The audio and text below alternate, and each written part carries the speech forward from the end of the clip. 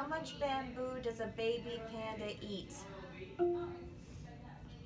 Here's something I found from the article Giant Panda on Wikipedia.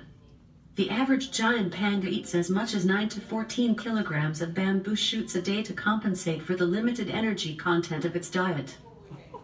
Did that answer your question? Yes, thank you.